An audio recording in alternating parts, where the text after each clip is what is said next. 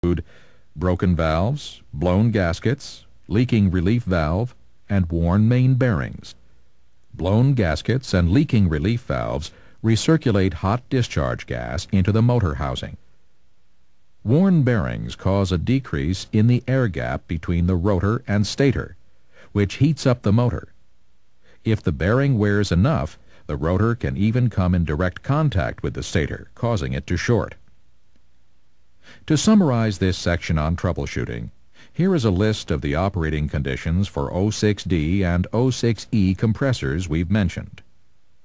Discharge temperature should not exceed 275 degrees Fahrenheit measured 6 inches from the discharge service valve. With POE oil applications, 250 degrees Fahrenheit is the maximum recommended operating temperature. Motor barrel temperature should not generally exceed 80 to 125 degrees Fahrenheit depending on application. Note, 06cc may run hotter.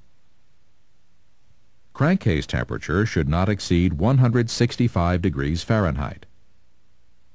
Oil level should be maintained at 1 quarter to 3 quarters of the sight glass for 06Ds and 1 eighth to 3 eighths for 06Es.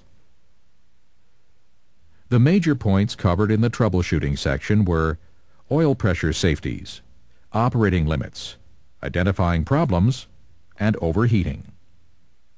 That concludes our program on the proper analyzing and servicing procedures for most field repair situations of the Carlyle Model 06D, 06E, and 06cc compressors. In this program we covered familiarization, field servicing, and troubleshooting.